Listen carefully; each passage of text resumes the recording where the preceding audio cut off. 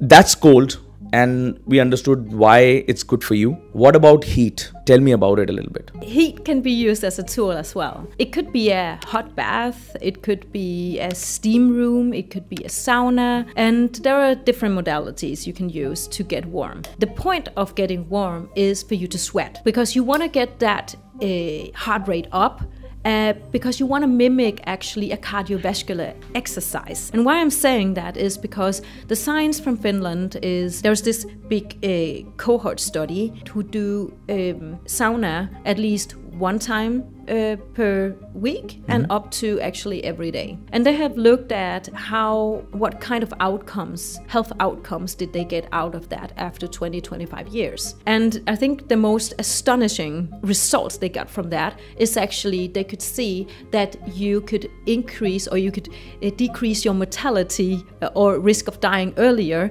if you did this four to seven times per week.